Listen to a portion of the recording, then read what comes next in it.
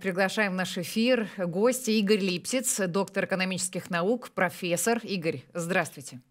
Добрый день, здравствуйте. Игорь, ну ведь это такие ясные вещи даже э, ученикам младшего класса, что если где-то прибывает, э, в другом месте должно убывать. Где же э, собирается брать деньги э, Кремль на то, чтобы продолжать войну в Украине? Потому что для того, чтобы начать, можно себе предположить, что были некоторые накопления, но мы понимаем, что реальная картина с ожиданием Кремля все-таки несколько не сходится. Едва ли рассчитывали затягивать так изначально. Так вот, где деньги брать? Будут? Ну, рассчит, на что они рассчитывали, мы не ведаем. Возможно, что они и не надеялись на такое сильное сопротивление, полагали, что оно будет слабым, и они быстро решат проблему в пределах существующего бюджета. Но теперь экономика России перестраивается на военный лад, милитаризуется. И, конечно, это меняет и все финансовые потоки в стране. И мы видим, что уже, так сказать, все эти разговоры о корректировке налогов, они уже превратились в практическую плоскость, стали перемещаться, и мы видим, что идет уже подготовка реформы налогообложения, появится, судя по всему, э, прогрессивная шкала налога на доходы физических лиц, и, судя по всему, появится даже прогрессивная шкала налогообложения прибыли э, компании. То есть там уже речь идет о том, что, видимо, там тоже будет э, как бы такая вилка. Возможно, что будет сохранен этот механизм налога на сверхприбыль, который был введен неожиданно для всего российского бизнеса в 2023 году. И за счет этого, значит, 300 с лишним миллиардов бюджет собрал. Вообще сейчас как бы идет простая история. Одна единственная цель государства – воевать.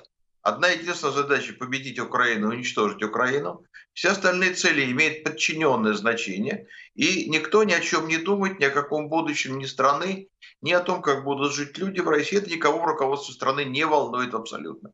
Поэтому любые решения будут приниматься, любые меры будут одобряться, и изыматься деньги будут и у бизнеса, и у населения. Значит, соответственно, будут, видимо, довольно серьезные корректировки системы прогрессивного налогообложения. Там собирается уже больше миллиона, насколько мы понимаем, сделать прогрессивную повышенную ставку. А миллион это, в общем, и не очень большие деньги в России. И самое смешное, что получает-то больше 80 рублей в месяц, а где-то только процентов 20 всего населения страны, остальные бедняки, у которых и таких денег в месяц нету. Но вот для тех, кто зарабатывает, то имеет хоть какой-то бизнес, имеет какую-то профессию, имеет какую-то квалификацию, поэтому чуть больше заработают, иначе ведут прогрессивный налог. Ну и, соответственно, будут отнимать у бизнеса больше. А это означает очень простую вещь. Если у бизнеса отнимает больше прибыли, то бизнес перестает расти, у него нет денег. Тем паче, что кредит в России дорогой очень, из-за инфляции ставки повышены. Ну и, соответственно, иностранные деньги не приведешь, потому что никто вот, в России со своими деньгами приходить не собирается. Китайцы тоже никаким образом не собираются активно кредитовать Россию, да еще льготным образом. Ну, в общем, получается, что бизнес развиваться не может.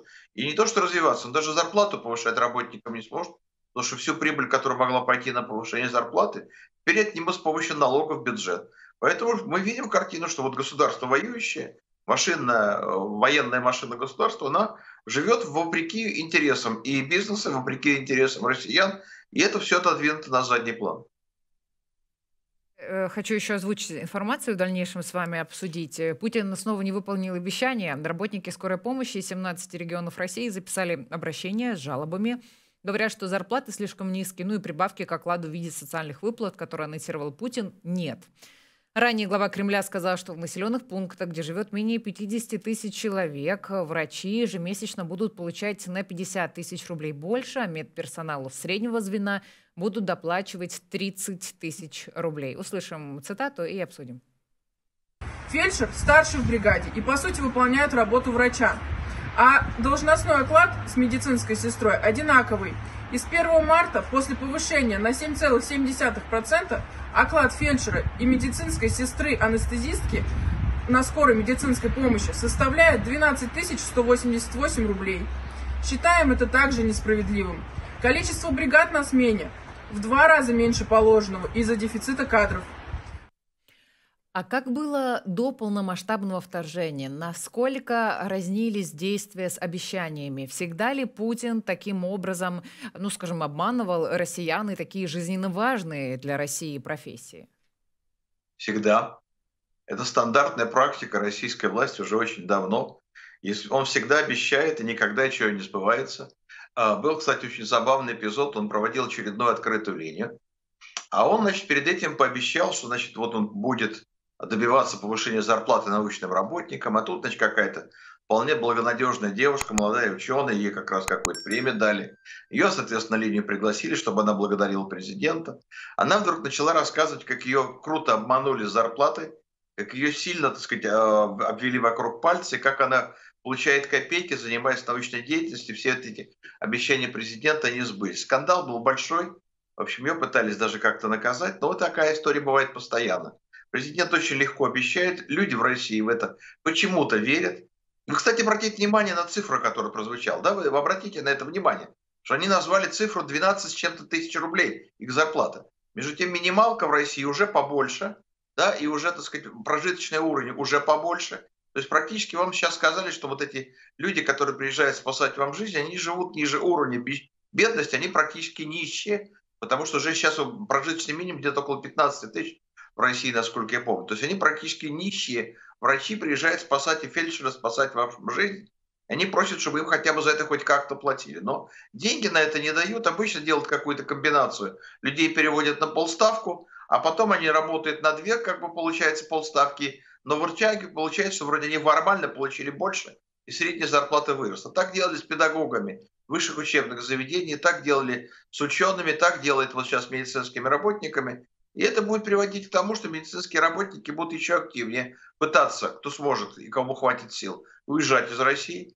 Мы уже видим эту картину, скажем, по российским учителям. По прошлому году промелькнула цифра, пугающая, конечно, совершенно, что за прошлый год из российской школы ушел каждый седьмой учитель. Да? Вот вы представьте себе, как будут учить детей. Но президент Путин на это отреагировал бодрым заявлением, что нужно прекратить так жестко контролировать качество образования в средних школах России. Вот такой вариант поведения. То есть практически что происходит? Россия убивается, уничтожается ее будущее, нет хорошего образования, нет хорошего лечения. Что называется, жить будешь, но недолго, хотя и плохо, но недолго. Вот радуйся этому. У тебя будет расти смертность, у тебя будет сокращаться, соответственно, продолжительность жизни, ты будешь тяжело болеть и не вылечиваться, но это вот будет зато патриотическая твоя акция в пользу государства, в пользу президента Путина. Картина выглядит именно так. К зарплатам еще, э, вероятно, вернемся. Я хотела бы э, на теме медицины немного остановиться. А что по поводу финансирования списка жизненно важных препаратов? Насколько это ну, финансирование сократилось, если вам известно? Потому что не так давно мы обсуждали, что в дальнейшем в России будет только усугубляться э, дефицит с медикаментами. Но ведь в данном случае речь конкретно о жизнях людей, потому что некоторые люди без определенных препаратов не смогут продолжить жить. Ну, поймите, что это никого в руководстве страны не волнует. Просто насколько Если это уже э, реальная проблема уже и насколько критично э, уменьшено уже финансирование? Уже происходит, потому что уже это заложено было в бюджете на этот год, угу. и уже люди пишут, что ты попадаешь в больницу, и там никаких лекарств нет, включая жизненно важные. И вся надежда только, что тебе родственники где-нибудь добудут и принесут, но беда в том, что и эти лекарства еще и добыть надо. Знаете, тоже непростая проблема, поскольку импортных лекарств становится все меньше и меньше. И даже не потому, что какие-то санкции были введены, и там фармкомпании боятся поставлять, они бы, может, и поставили, но Россия заплатить теперь не может. Банковские санкции очень сильно мешают оплате, поэтому из России уходят, в общем, те компании, которые ну, устали ждать а, прихода денег, поэтому уходят импортные лекарства, которые помогали, остаются российские, которые работают плохо и не лечат и мучают. И это, знаете, иногда вещи очень страшные. Когда ты разговариваешь с онкологическими больными, у которых вот был препарат как-то тормозящий развитие болезни, а теперь дают российский заменитель, который никакого положительного воздействия не оказывает. Но теперь и критически в больницах нету. Так что вот только надежда, если ты не одинокий, у тебя есть родственники, и у них есть деньги, то они тебе принесут лекарства в больнице, тебе сделают укол, поставят капельницу, нет денег, но извини. Вот как судьба. И вот молись на иконы сейчас во многих российских больницах, российских медицинских учреждениях всюду висят иконы, так сказать, надеюсь на то, что Господь тебя спасет. Другого пути у тебя нету. Я еще также хочу озвучить информацию по поводу зарплат э, чиновников. Есть чиновников риэлторы, есть такая история. Зарплатами в России недовольны, оказывается, не только медики, которых мы вспоминали пятью минутами ранее, но из-за низких выплат волился глава Ленинского муниципалитета в оккупированном Севастополе Максим Сердюк. По его словам, в сфере недвижимости можно получать больше, чем на посту главы района, поэтому он э, прошел специальные курсы и вообще решил сменить поле деятельности. Тем временем, что интересно, в российском правительстве утверждают, что маленьких зарплат в стране нет. Средняя зарплата составляет 73 тысячи рублей, уверяет глава правительства России Михаил Мишустин. Говорит, что все расчеты на руках и реальная зарплата в России выросла на 7,8%. Вот такое несоответствие данных. Но вместе с тем, мне интересно, некоторые чиновники могут сменить поле деятельности, там условно уйти в риэлторы, куда угодно, любую другую профессию выбрать. Но ведь э, такая ситуация, она она является такой благоприятной почвой для еще большего развития коррупции, которая и так э, достаточно влияет на Россию и на уровень жизни россиян. Насколько вы прогнозируете, что действительно уровень зарплат может в дальнейшем, такой низкий уровень зарплат может в дальнейшем и погрузить Россию э, в коррупцию, в увеличение, может быть, даже э, случаев бандитизма, потому что мне кажется, что людей рано или поздно до этого доведут. Но обратите внимание, что, скажем, вот по этому году, например, президент отменил индексацию зарплаты всем государственным служащим. И я полагаю, что в этом году будет это сделано и для всех бюджетников вообще. Потому что, ну, как бы денег нет, все деньги на войну, и, а все, что касается людей, второстепенно, второзначимо. Поэтому, конечно, масштабы коррупции будут расти, люди будут пытаться как-то прокормить свои семьи. Другое дело, с кого они это возьмут что же, так сказать, я, может быть, и хочу взять взятку, но мне надо с кого-то ее взять. Знаете ли, а если учесть, что российский бизнес находится не в лучшем положении, и я разговариваю с людьми из бизнеса, они находятся в тревожном ощущении, что если сейчас действительно поднимут налог на прибыль с 20 до 25 процентов, то многие бизнесы просто закроются. Просто закроются, потому что они просто такую нагрузку не выдержат. Вы понимаете, двойной удар. С одной стороны, у тебя высокая инфляция, потому что деньги вливаются через военные заказы огромным потоком, да, плюс государство вообще занимается эмиссией денег практически бесконтрольно. Поэтому высокая инфляция, поэтому высокие ставки Центробанка, поэтому очень дорогой кредит. За счет кредита бизнес вести невозможно. Даже на пополнение оборотного капитала не возьмешь кредит. А с другой стороны, у тебя прибыль, которую ты с трудом заработал, отнимает теперь будут в большей степени. Значит, у тебя, в общем, денег нету, жить невозможно, бизнес вести в убыток нельзя. Тем паче, что теперь они ввели жесткое правило, что если компания разорилась, а у нее есть какие-то долги, то это все долги перекладываются на физических лиц, которые были владельцами этого бизнеса, и они теперь уже как бы как люди физические, как физические персонажи будут банкротиться, потому что у них нет денег. Но, то есть эта картина такая тяжелая, значит, соответственно, бизнесов меньше. С кого возьмешь взятку? Только самого населения. Ну, оно же тоже не все богатое. Сейчас какие-то деньги идут только тем, кто идет воевать. Вот их, соответственно, деньгами заманивают. Сейчас уже появились некоторые регионы, где предлагают за подписание контракта на войну, значит, ты идешь воевать, платить до миллиона рублей.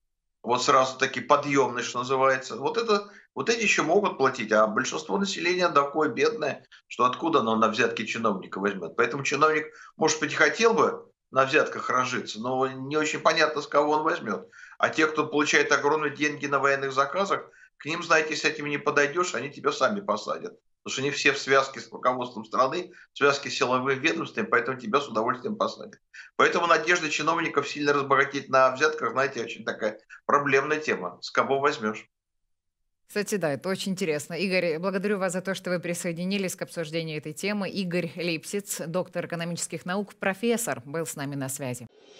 Оперативные новости, эксклюзивные видео, аналитические обзоры.